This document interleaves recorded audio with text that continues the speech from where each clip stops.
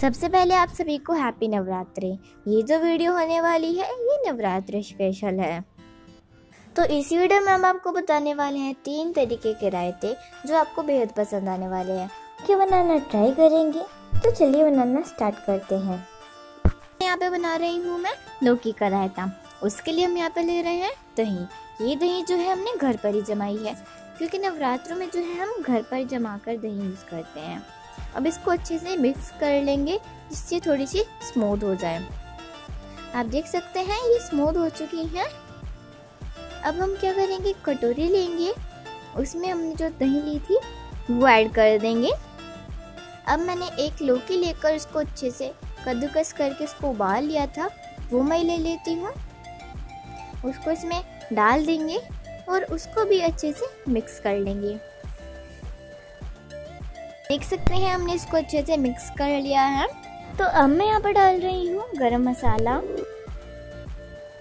गरम मसाले से हमारा रायते का जो टेस्ट है वो बहुत ज़्यादा बढ़ जाएगा। अब मैं यहाँ पर डाल रही हूँ भुना हुआ ज़ीरा। अब मैं यहाँ पर डाल रही हूँ धनिया के हरे हरे पत्ते।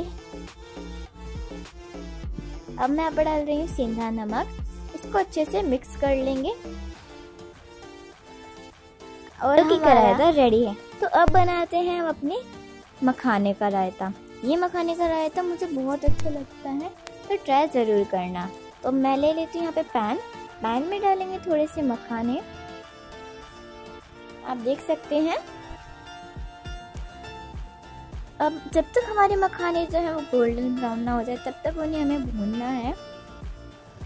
ये देखिए अब हमने जो हमारे मखाने हैं भुन चुके हैं और एक कितने ज़्यादा क्रिस्पी भी हो चुके हैं, आप देख सकते हैं। अब हम लेते हैं एक कटोरी, उसमें डालेंगे जो हमने दही ली थी, वो इसमें ऐड कर देंगे। अब मैं यहाँ पर डाल रही हूँ भुना हुआ जीरा और काली मिर्च का पाउडर और थोड़ा सा सिंधा नमक। जो हमने यहाँ पे मखाने भुने थे, उनको ऐड कर देंगे।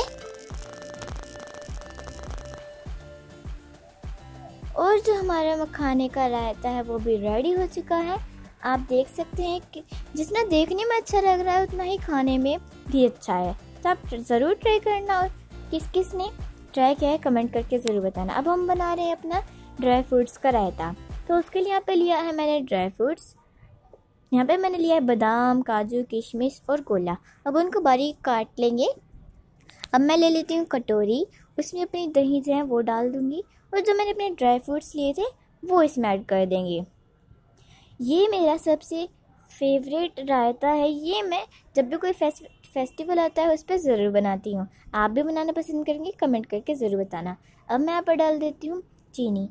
थोड़ा सा ज़िंदा नमक और चीनी और सिंधा नमक से जो हमारा रायता है, वो खट्टा मीठा टेस्ट आएगा और वो बहुत ही ज़्यादा टेस्टी लगेगा।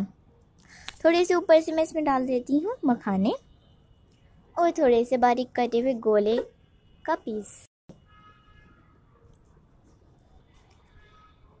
और हमारा ड्राई फ्रूट्स का रायता जो है वो भी रेडी हो चुका है।